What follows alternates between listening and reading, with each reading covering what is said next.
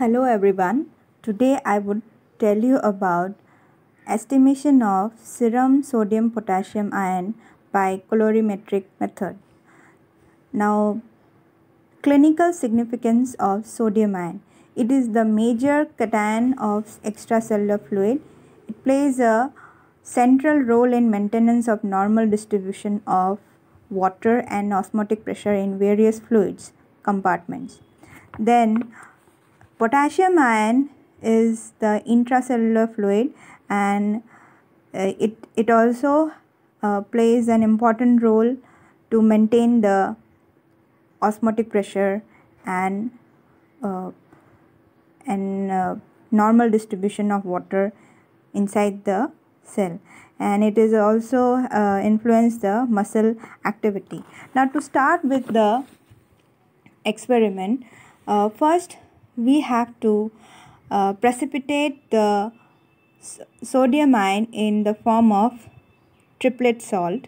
So we would use the precipitating uh, reagent to precipitate the triple salt which consists of sodium magnesium uranyl acetate. So after precipitation we would uh, after adding the precipitation uh, reagent of 1 ml we would centrifuge at 3000 rpm for 2 minutes and then the supernatant would be collected for the test. Now you can uh, you can see we have added uh, there is a cloudy appearance. We would centrifuge and then we would use it for estimation of sodium ion. Now for sodium ion, there are three reagents. One is the uh, precipitating reagent, then we have a standard, and the third one is the color reagent. So we got the uh, supernatant, you can see, and now we would take the supernatant.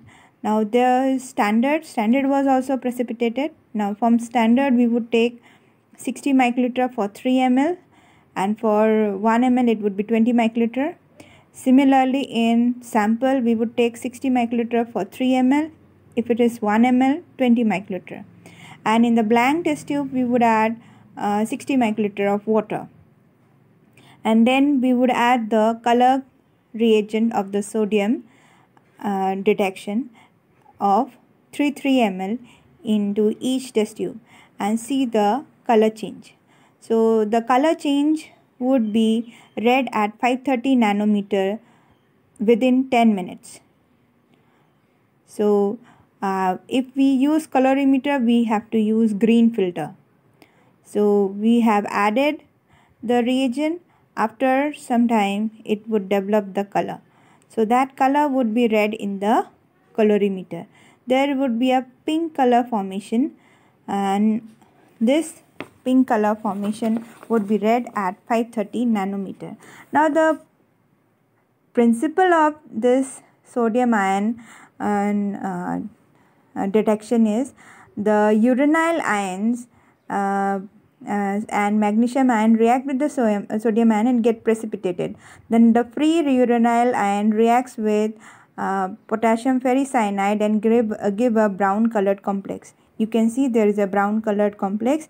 This would be read against the blank at 530 nanometer in spectrophotometer and in green filter uh, colorimeter after taking the reading of the uh, standard and sample we would put into the formula uh, where uh, the sample reading is divided by standard reading and multiplied by the concentration of the standard. Concentration of the standard uh, is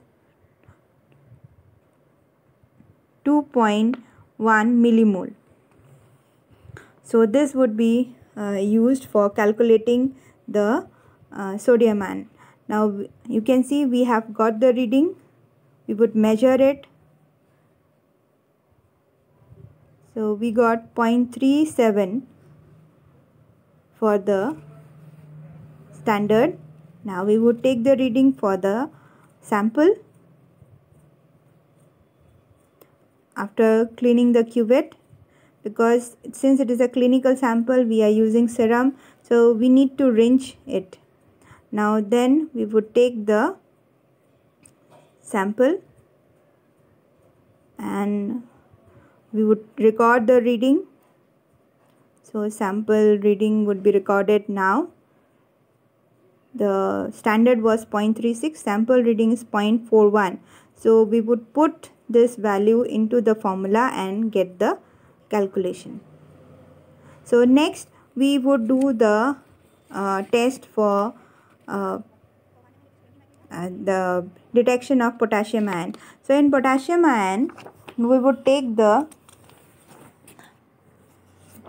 the uh, 50 microliter of the sample into each test, uh, test tube standard and uh, test and in place uh, in blank we would take uh, the water distilled water so and then we would add the potassium reagent of if it is 50 microliter then 1 ml and for 3 ml it has to be 150 microliter and see the color change. So it, in the principle of uh, potassium ion detection is it uh, it forms a colloidal suspension. So because uh, because tetraphenyl boron reacts with the potassium ion and it forms a white turbidity. So we measure the white turbidity uh, in uh, potassium ion detection at 620 nanometer after incubation of 5 minutes. And again we would put into the formula and get the reading. So the concentration of potassium ion standard potassium ion is 8 millimole per liter so we would record the reading. Now the normal range of sodium ion in the uh, in the serum is 135 to 155 millimole per liter. And for potassium ion it is 3.4 to 5.3 millimole per liter. So we would put all this in the formula and get the reading. And also we would find out the normal ranges uh, of sodium and potassium ion in the sample. So this is how we do the uh, clinical test of sodium and potassium ion in the uh, uh serum.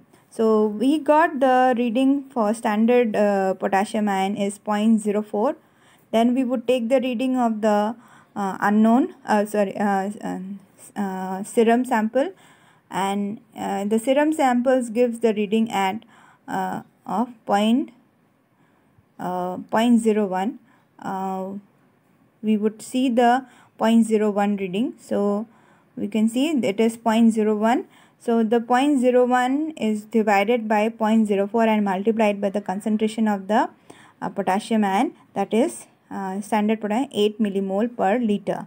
So that is how we calculate the uh, both sodium and potassium ion by colorimetric method.